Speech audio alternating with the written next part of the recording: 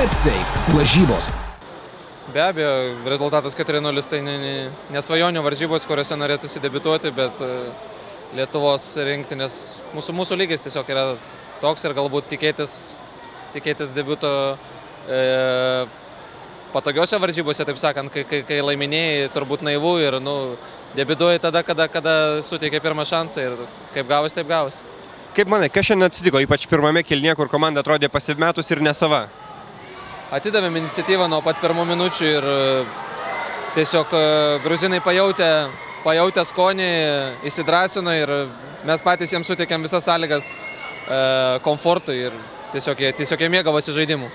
A, treneris būtent prieš šimtinės akcentavo, kad reikia mažinti klaidų skaičių, mažinti smūgių į vartų skaičių, tačiau šį kartą nelabai pavyko, ar ne rungtinių planas? klaidų skaičių, smūgių skaičių taip, bet visų pirma sakau, atiduodant iniciatyvą sunku tikėtis, kad, kad jie nepramušė vartus, kad, jie, kad mes darysim mažai klaidų.